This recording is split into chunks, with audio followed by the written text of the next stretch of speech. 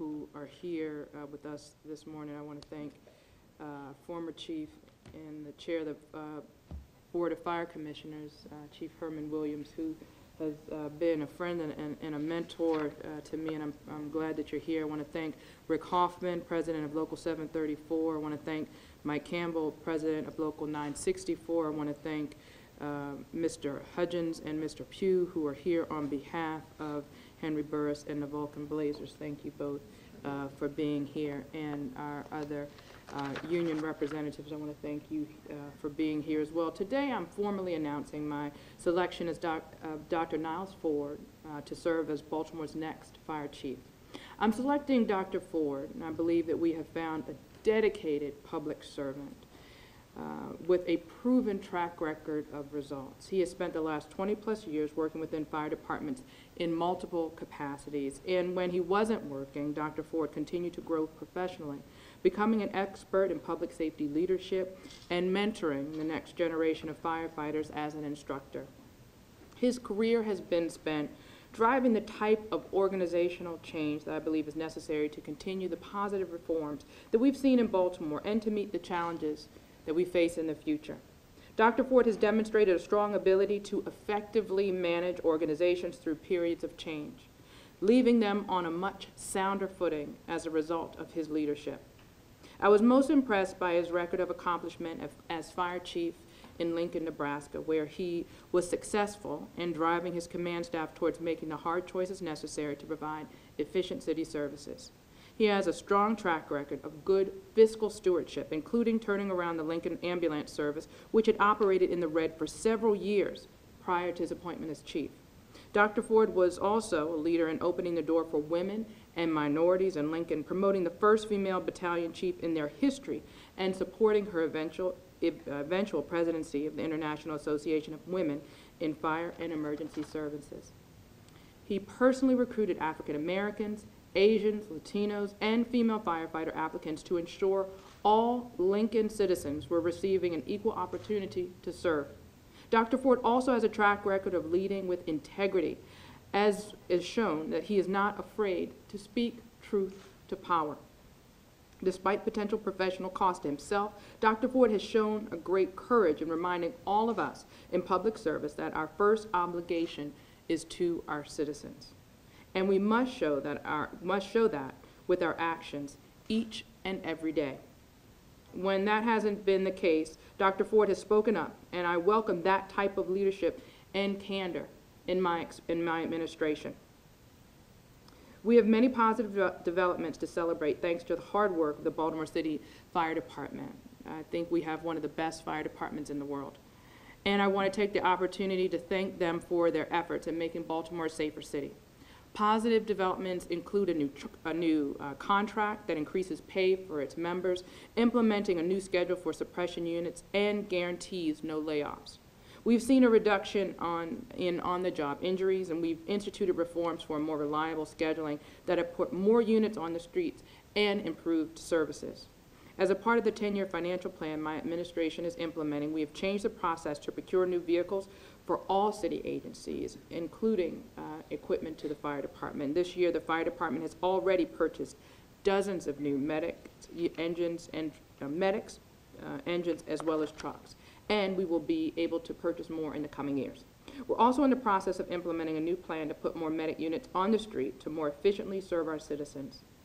Challenges remain in the department, including combating the spike in recent fire deaths, which remains a top priority for this administration. Dr. Ford is no stranger to challenges, both personally and professionally. He has done so with integrity, dedication, and a determination necessary to keep our fire department moving forward. And I'm honored to welcome him to Baltimore. Dr. Ford. I'd first like to thank the mayor. Thank you very much, Madam Mayor, for this opportunity um, to serve this great community. I'd also like to thank the citizens of Baltimore for this opportunity. Um, It, I, I'm, I'm truly humbled about uh, having this opportunity to serve. I, I have long had strong appreciation for this organization in this great city, the history that it has throughout Revolutionary War through, through today. I also have a, have a history that, um, that, that Chief Herman Williams doesn't know. I basically selected him as an informal mentor of mine.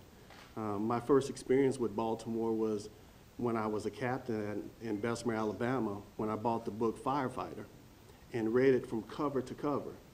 Uh, realized I had a, a lot of things in common with uh, Chief Williams.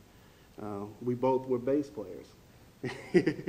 but also, I, I read through all the history and challenges he had, and it, it really motivated me to move forward and, and to try to grow.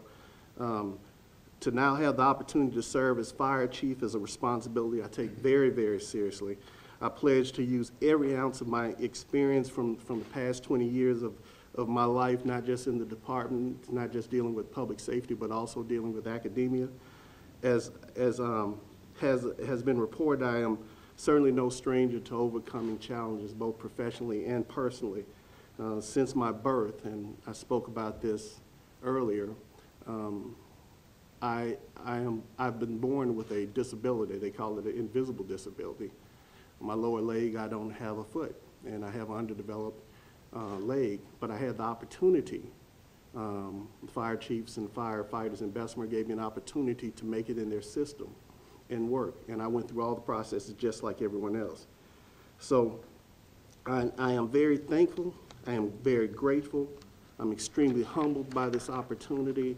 And again, I'd like to thank you, Madam Mayor, for giving me this opportunity to stand here. And also, Chief Williams, thank you for writing that awesome book about your life. All right, with that, we'll open it up for a few questions. Mm-hmm. I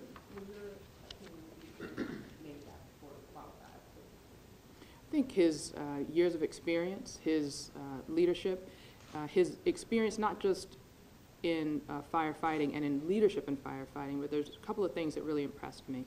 One, the- in the places where he has led, he's led through change. He's uh, been successful in diversifying uh, a department, which has been a persistent problem that we've faced in Baltimore. He also has experience as a city manager and in a city that is uh, trying to grow out of the, the Great Recession. Having that fiscal stewardship was very, very important uh, to me. Uh, he understands organizational change, and as we're going into the new contract, as well as uh, working to in, create more efficiency around the way that we deal with EMS calls, I think that his organizational leadership and change management skills uh, will uh, fit right in and help us uh, in this next chapter for the Baltimore City Fire Department. I don't know how many applied totally, but I was pleased that there was, we, you know, Baltimore's blessed. We had excellent internal uh, candidates to choose from, as well as, um, you know, and with this position and others, um, I'm finding that there's a lot of interest in uh, working in Baltimore uh, right now from uh, great people all over the country.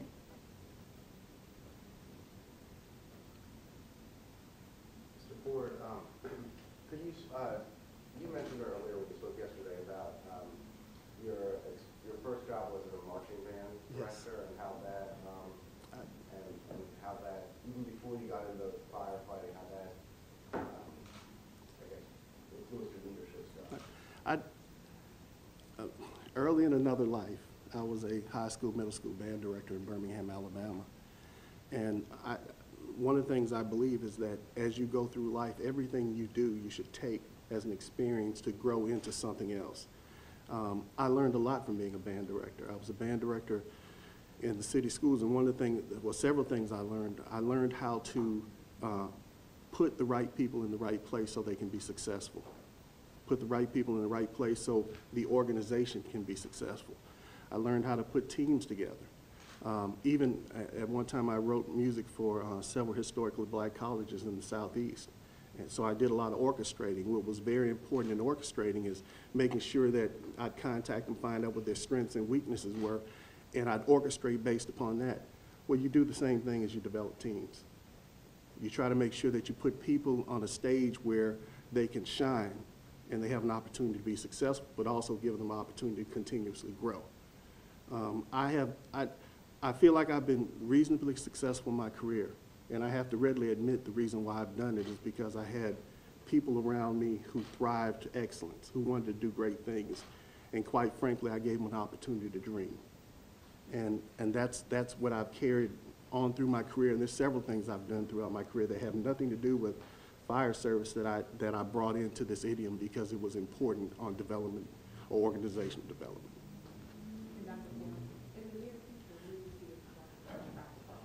Well, what, in, in, in very broad terms, one of the things I'd like for us to do is continue the excellence that, that has been started by the previous chiefs. And um, to get in to make sure that we're second to none in everything we do, to try to use, um, one of the things that, um, that the mayor has in her Change to Grow program, the 10-year program, and she wants us to use technology to the full- fullest to make sure we're running as effectively and efficiently as possible. So I want to make sure that not just today, but continuously, we- we look out there and monitor and see what we can do to do what we do better and more effectively and more efficiently. We can do one more. Uh, But some- for Lincoln, Nebraska being a smaller area than Baltimore, do Yes. you see similar challenges that will help translate to this department? Well, um, certainly the mayor spoke about the diversity concerns, and, and one of the things I learned about um, attracting a diverse pool is you have to actively do it. Um, So I plan on trying to do some of the same things I did in Lincoln, Nebraska. I'm, I'm very, uh, once I get an opportunity to put my arms around the organization, and I know where all the moving parts are, um, you will see me out in the community in a very aggressive way because I think that's, that's how you have an opportunity, not just to develop relationships with the community, but have an opportunity for people who dream and aspire to do things, who have never looked at the fire service as an opportunity, they will. And we can get the best and brightest out of the city of Baltimore.